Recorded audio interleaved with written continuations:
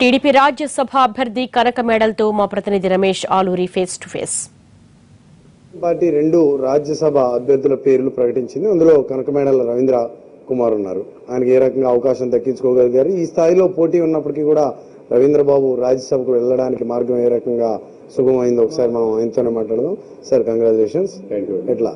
ఎంతవరకు తెరపై లేదు చర్చలో లేదు ఎక్కడ వినిపించలేదు. సడన్గా రవీంద్ర పేరు రావడాన్ని ఎలా చూడాలి? మనసులో ఉంది. మేము ముఖ్యమంత్రి గారు మా పార్టీ అధ్యక్షుల వారి మనసులో గత ఇరవై రెండు సంవత్సరాల నుంచి లీగల్ విభాగంలో లీగల్ సెల్ అధ్యక్షుడిగా నేను చేస్తున్న కృషిని ప్రస్తుతం ఉన్న పరిస్థితుల్లో న్యాయ న్యాయ విభాగానికి సంబంధించినటువంటి సేవల అవసరాన్ని అలాగే మేము చేసినటువంటి సేవని నాటికి గుర్తింపుగా నాకు మాకు అవకాశం ఇచ్చారు. ఈ అవకాశాన్ని సద్వినియోగం చేసుకుంటాం. ఇంత ఒత్తిడి ఉన్నప్పటికీ కూడా ముఖ్యమంత్రి గారు నా అభ్యర్థిత్వాన్ని కన్సిడర్ చేసి నా మీద నమ్మకాన్ని ఉంచి నాకు ఇచ్చినందుకు వారికి మీ ద్వారా మరొకసారి ధన్యవాదాలు తెలుపుకుంటున్నాను.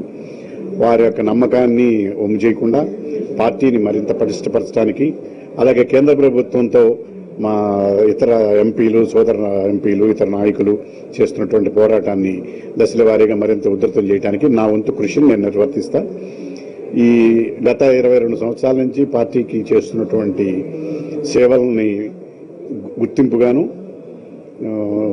ఇచ్చి ముఖ్యమంత్రి గారి మనసులో ఆ స్థిరమైనటువంటి అవకాశాన్ని పదిలపరుచుకున్నందుకు ఆయన నన్ను గుర్తి ఇప్పటికి గుర్తించి పూర్తిగా నాకు సమాజంలో ఒక మంచి గుర్తింపు ఇచ్చారు నేను చేసిన సేవలకు ప్రతిఫలంగా. అలాగే న్యాయ విభాగంలో నా అవసరాన్ని కూడా నా యొక్క అవకాశాన్ని ఇచ్చిన అవకాశాన్ని నేను ఉపయోగించుకోవడానికి కూడా పార్టీ అభివృద్ధి కోసం కృషి చేస్తానని ఎటువంటి మెసేజ్ వెళ్తుంది అనుకుంటున్నారు మీకు ఒక అభ్యర్థిగా ఇవ్వడం ద్వారా మిమ్మల్ని రాజ్యసభకు పంపడం ద్వారా పార్టీలో ఎటువంటి మెసేజ్ వెళ్ళే అవకాశం ఉంది? పార్టీలో సామాన్య కార్యకర్తగా ఉన్నటువంటి వాళ్ళకు కూడా అత్యున్నతమైన స్థానాలను అందుకోవడానికి ఒక అవకాశం ముఖ్యమంత్రి గారు ఇస్తారు. పార్టీ ఎప్పుడూ కూడా అన్ని సమీకరణలు ఆలోచించి పార్టీకి ఉపయోగపడతారు అని కష్టపడి పనిచేసేటువంటి వాళ్ళకి ఇది గుర్తింపుగా భావిస్తున్నాను.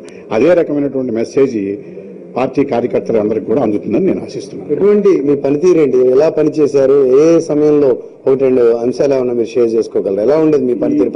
నాలుగు- అనుబంధం ఎలా ఉండేది? నాలుగు జనరల్ ఎలక్షన్ల నుంచి ఎలక్షన్లకు సంబంధించినటువంటి అన్ని అంశాలు కూడా మేము నా సోదర సభ్యులతో మా లీగల్ సెల్ విభాగ సభ్యులతో అందరితో కూడా కలిసి మేము టీం వర్క్ చేసేవాళ్ళం పార్టీ ఆఫీసులో ఫుల్ టైము. అలాగే పది సంవత్సరాలు ప్రతిపక్షంలో ఉన్నాం. ప్రతిపక్షంలో ఉన్నప్పుడు కాంగ్రెస్ పార్టీ వారు అధికారంలో ఉండి పార్టీ నాయకులను మా పార్టీ నాయకుల మీద పెట్టినటువంటి కేసులను వీటన్నిటిని కూడా ఎదుర్కోవటం.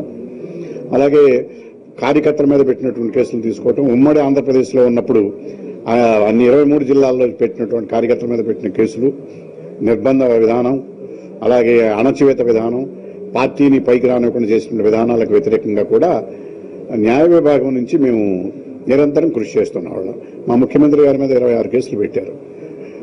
వైఎస్ రాజశేఖర రెడ్డి గారు ఉన్నప్పుడు పెట్టారు. గాలి జనార్దన్ రెడ్డి వాడు ఉన్నప్పుడు కేసులు పెట్టారు. ఎన్ని ఏ కేసులో కూడా ఈ రోజు వరకు ఒకటి కూడా రుజువు కాలేదు. ఇట్లాంటి అన్నింటిలో కూడా మా న్యాయ విభాగం పూర్తి పాత్ర వహించింది. ఆ అట్లాంటి విభాగానికి మార్చకుండా నన్నే కంటిన్యూస్గా రెండు సంవత్సరాల నుంచి అధ్యక్షుడిగా ఉంచి ఈ పార్టీ నా అధ్యక్షుల వారు నాకు అవకాశం ఇచ్చారు. ఆ అందులో భాగంగానే నా డ్యూటీ నేను నిర్వర్తిస్తున్నా.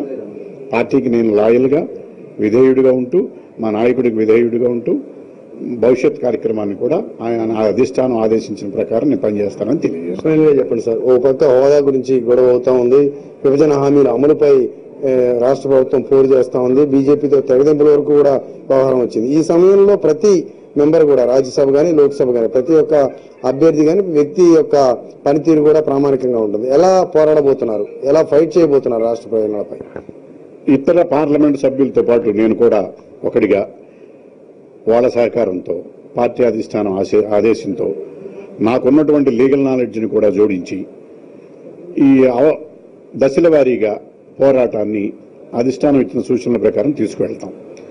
అవసరమైతే న్యాయపరమైన అంశాలను కూడా పరిశీలించి న్యాయపరంగా రాబట్టుకోవటానికి అవసరమైతే న్యాయస్థానాలను ఉపయోగించుకోవచ్చా లేదా అంశాన్ని కూడా పరిశీలించి దానికి సంబంధించిన చర్యలు కూడా తీసుకుంటామని తెలియజేస్తుంది థ్యాంక్ యూ ఇది రవీంద్ర కుమార్ అభిప్రాయం. న్యాయపరంగా కూడా అవసరం అయితే పోరాడి రాష్ట్రానికి అవసరమైనటువంటి అంశాల్లో తాము నిలబడతామని రవీంద్ర కుమార్ చెప్తా ఉన్నారు.